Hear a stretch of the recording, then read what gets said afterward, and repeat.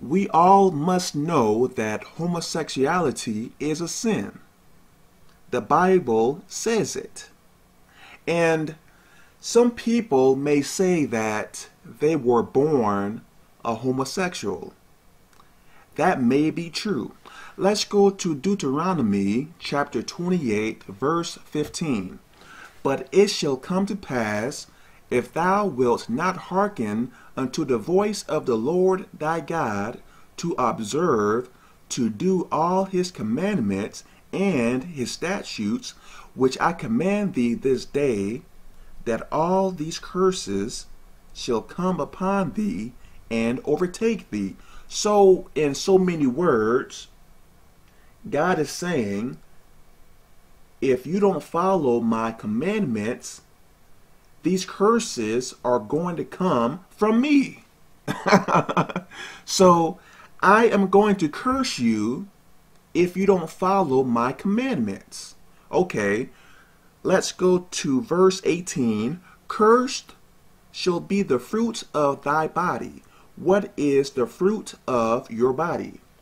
It is your children.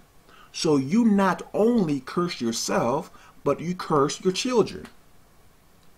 So, how can a person be born a homosexual? A generational curse. Let's say that I am gay and I sleep with a woman and the woman has a child. Because of my disobedience to God, I run the risk of my children being homosexual. Generational curse. So, that homosexual demon in me can be transferred into my kids. Does that make any sense? This is how people can be born gay. Generational curse. Let me say this. There are kids who are born with anger problems and other problems. How is this? Generational curse. So everyone must know that homosexuality is a demon.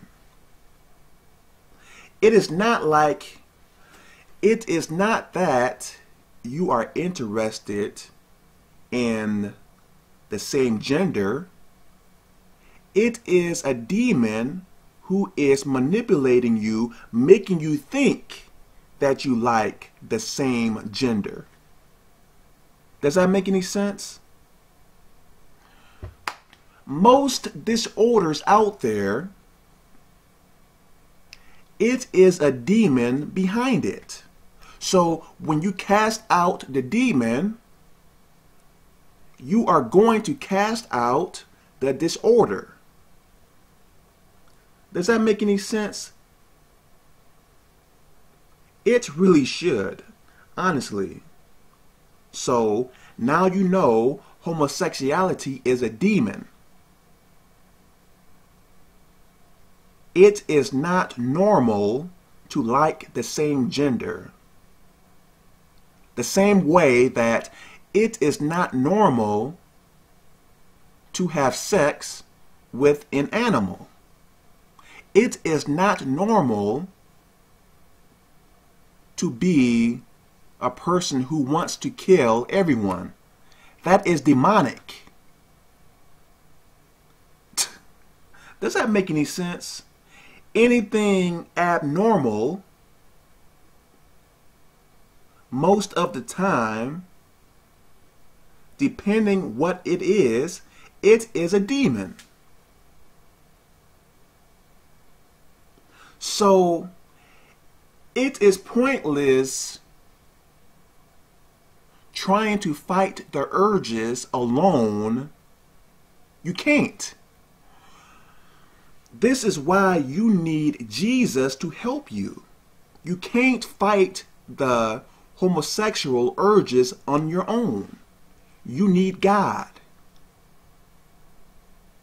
Because you are fighting with a demon.